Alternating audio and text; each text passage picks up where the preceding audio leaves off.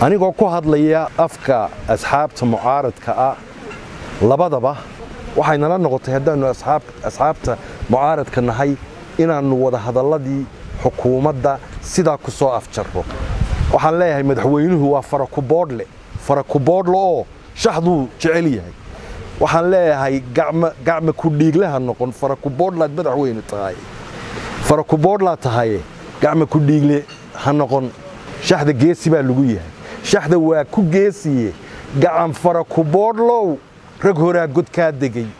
Bari iyo galbeed iyo gabboon iyo kinshaasiye ilaa gini koronkoray gabdho weerar ugu xidhay.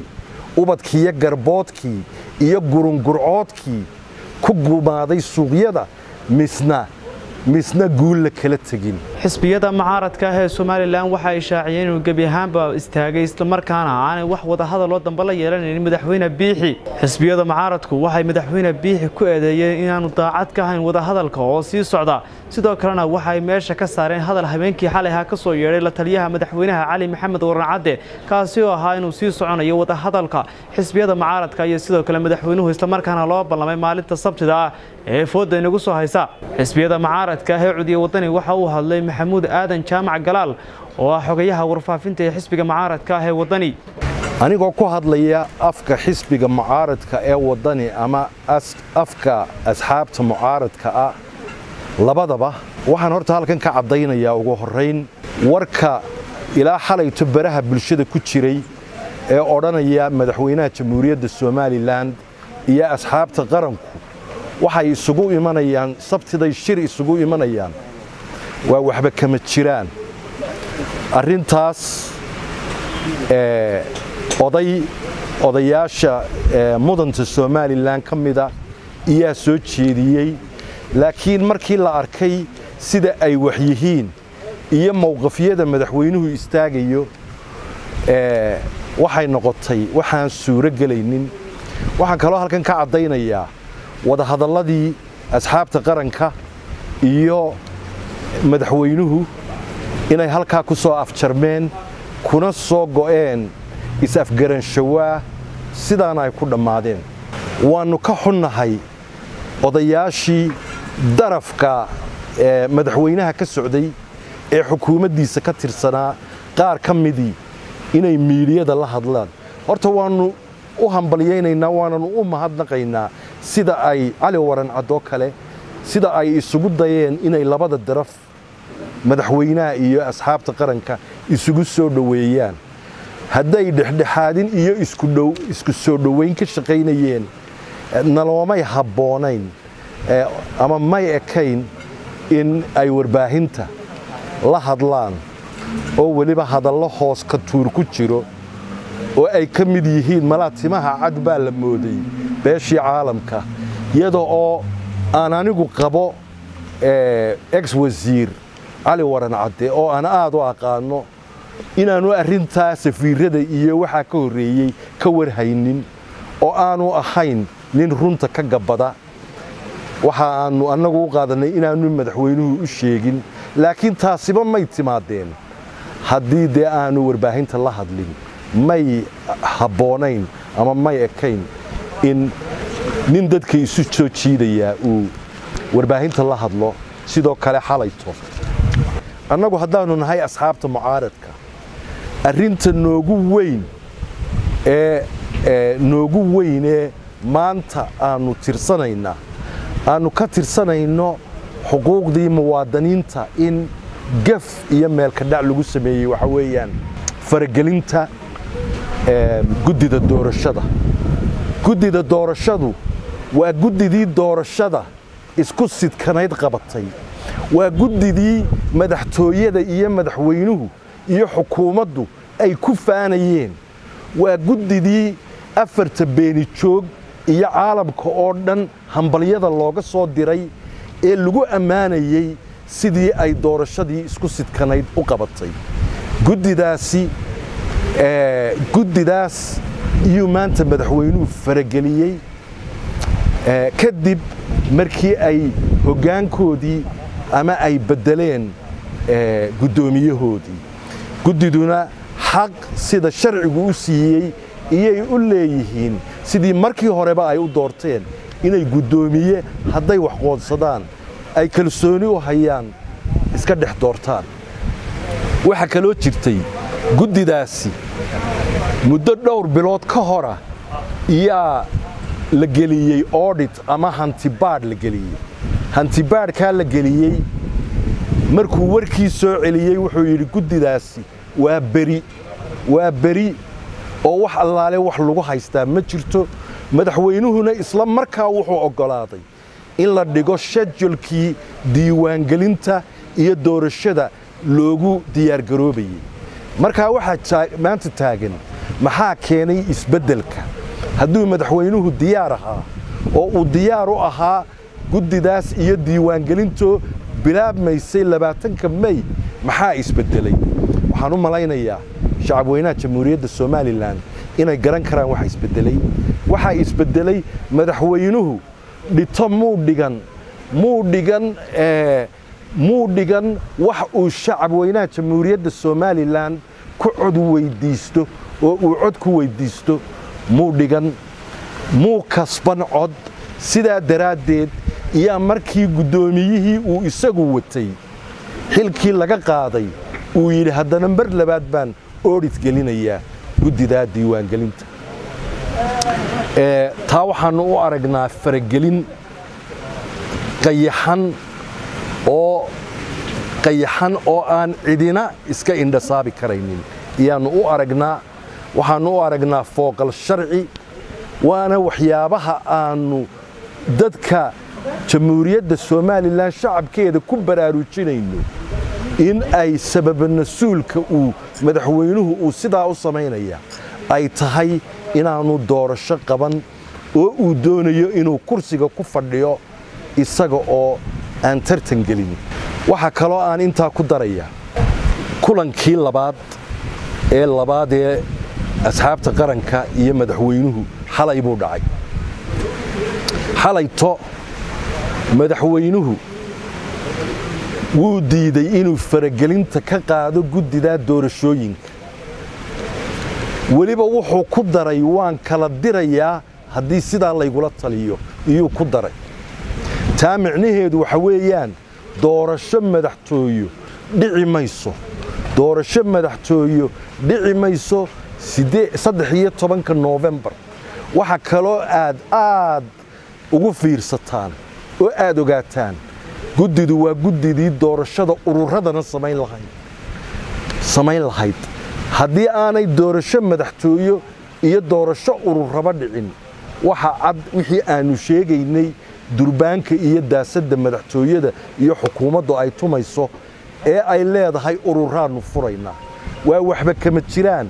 Guddidii doorashada madaxtooyada iyo ururada iyo tartannada samaynaysay. Waa guddidaa uu madaxweynuhu yidhi waan kala dirayaa. Marka waxaasoo dhan ayaa jira. Waxaa kaloo aan ku darayaa afarta xubnood ee daraato ee guddida diiwaangelinta ururada ee daraato baarlamaanku ansixiyey. Maaha guddi sharciyan maaha guddi. Waa guddi kala dhantaalan waa guddi kala dhiman. Guddidaasina shaqo geli kari mayso sharciyan sharcigu uma oggola inay shaqo gasho sharcigu uma oggola inay guddoomiye iyo guddoomiye ku-xigeen doorato waa afartaa xubnood ee aan weli guddi noqon. Waxay guddi noqonaysaa marka saddexda xubnoodee kale la soo ansixiyo markaasay sharci noqon kartaa markaasaa la dhaarin karaa laakiin madaxweynuhu wuxuu xalayto si badheedha u yidhi. Waa afartaasaan dhaarinayaa oo ka shaqaysiinaya. Markaa taasi waxay muujinaysaa ama micnaheedu wuxuu yahay qoladan hanqaltaagga ururada u samaynaysa doonaysa inay ururada furto. Iyo asxaabtii qaranka ee mucaaradka iyaan iska hor keenayaayoo aan wax kale u hadoodilayaa weeyaan micnaheedu. Qoladaasaan isku jeedinayaa yaa micnaheedu. Iyada oo yaga qudhooda nimankan ururdoonka ah la sirayo oo komishankii tartanka gelin lahaa uu sidaa u kala dirayo guddidii uu sidaa u murangelinayo waxa weeyaan madaxtooyadu ama madaxweynuhu tabaha uu isticmaalayaa waxaa ka mida kuwaas. Wuxuu kaloo madaxweynuhu yidhi halayto muddo kordhintu waa sharci. Sharci bay ku fadhidaa. Waxa weeyaan madaxweynuhu xalayto wuu badheedhay waxaan loo leeyahay kulan dambe iyo waa laysu imanayaana halkaasuu shacabweynaha jamhuuriyadda somalilan uu ka arkayaa wax allaale wax dambe oo kulan dambe oo madaxweynaha iyo hadal dambeoo lala yeeshaa inaanay meeshaa ku habboonayn ama aanay ku ekayn. Madaxweynaha muddo kordhinta ka hadlaya le guddidii waan kala dirayaa le xubno aan weli guddi noqonna waan dhaarinayaa waxa ay nala noqotay haddaannu asxaabta mucaaradka noqonno aanu nahay waxay nala noqotay haddaannu asxaabta mucaaradka nahay inaannu wada hadalladii xukuumadda sidaa ku soo afjarro. Waxaan ku darayaa intaa madaxweynuhu wuxuu ka hadlaa shax shax uu ciyaarayo. Shax shaxda waa lagu ilduufaa. Haddaad shaxda ku ilduuftid waad iskaga kacaysaa intaad farahaaga sidii uu isaguba sheegay. Aad boorka ka tuntid. Laakiin arrimaha masiiriga ah ee xuquuqda aasaasiga ah ee muwaadiniinta haddaad ku ilduufto madaxweyne cuqubo iyaa kaaga imanaysa qarankana waxbaad yeelaysaa. Waxaa la yidhi waxa weeyaan madaxweynuhu ama xukuumaddu waxaan maanta ka maqlayey oo kale. Xukuumaddu maalintii dhoweyday siddeed iyo tobanka mey taangiyey waddadaa madaxtooyada ee cashuurta masaakiinta iyo dumarka baradhada suuqa iyo tamaandhada ku iibiya cashuurteeda laga qaaday taangiyaa waddadii jarjaray oo la mariyey taangiyadaa cidda ladhoo la tusayo ama la tusayo ee la tusayo anigu garan maayo. Waxa weeyaan dadka ama muwaadiniinta marka xuquuqdooda aasaasiga ah laga qaado. Taangi bay ishortaagaan tinaman square baynu ku aragnay tinaman square. Markaasuu taangiga ninka muwaadankee wadee askarigii ilaan qofkan jiirsiin maayee uu dhinac uga duwa. Markaasuu dhinaca kale ishortaagaa horta waxaan leeyahay taangi. Qofka haddii aad caburisid oo aad xuquuqdiisa iyo xaqiisa iyo wixii loo soo halgamay inuu qofku tala ku yeesho oo fartiisa ku dooran karo xuquuqda dhistoorka jamhuuriyadda somalilan u dammaanad qaaday haddii muwaadiniinta loo diido waxa weeyaan dadku dareenkooda iyay cabbiranayaan waxaan kaloo maqlayey xukuumadda oo leh ciidamaannu meel dhigaynaayoo ciidamada oo haddii qaar kale loo baahan yahay war ma ciidamadii qaranka ee jamhuuriyadda somalilan iyo muwaadiniintii xuquuqdooda doonaysay lagu cabsiinayaa ciidamada qaranku waa dadka yagii waa walaaladayo. Xaq in loo leeyahay in la cabbiro dareenka na lagu cabsiin maayo ta qodobka ugu dambeeye aan ku soo gunaanadaya waxa weeyaan. Xukuumaddu maanta waxay tidhi xamar bay la hadlaan iyo nairobi oo ay yidhaahdaan waa laysdilayaaye waxaan caddaynayaa eraygaasi iyo hadalkaasi brobaganda xisbiga kulmiya sameeyey oo waxba kama jiraana inuu yahay. Maannu odhan annagu waxaannu had iyo goor ku dabbaalaynaa hawshayada nabadgelyada.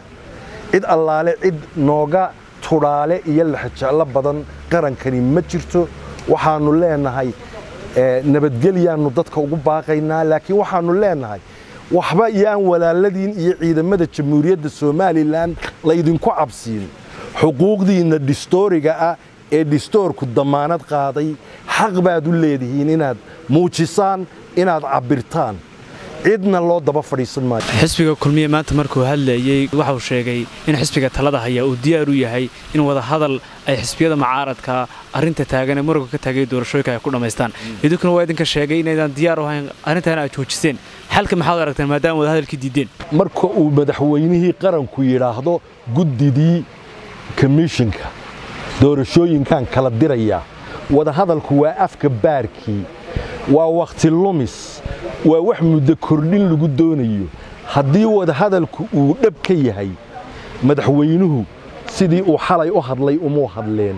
Meeshaa madaxweynaha jamhuuriyadda somalilan mudane muuse biixi wax allaale wax rajo ah oo ka soo naasacadi ma jiraan waxaan u sheegayaa taageerayaasha asxaabta mucaaradka waddani iyo ucid iyo muwaadiniinta kale ee dimuqraadiyadda jecel ama doonaya xuquuqdooda distoorku siiyey in aan hadalkaa xisbiga kulmiya ku hadaaqayaan aanay uu yahay waxba kama jiraan oo facaayilka madaxweynaha iyo tabaha uu isticmaalayo iyo ciyaaraha iyo shaxda uu doonay uu moodayo masiirkii ummadda inay taasi u markhaati tahay sababta aanu u tegaynay sababta aanu uga qaybgelaynay waanu arkaynay waxa weeyaan in shacabweynaha jamhuuriyadda somalilan arrintaa marag ka noqdaan. Inay marag ka noqdaan baanu doonaynay sidaasaanu labadii kulanee horena u tagnay laakiin iminka waxaanu aragnay wax allaale wax ka soo naasacadi inaanay jirin. Waxa aanu samaynaynaa kolleyba xisbiga yagu berri iyo saa dambeba warar buu soo saarayaa markaa taaha laga dhulsugo ka hor dhici maayo. Ibrahim jokar c b a t v hargeysa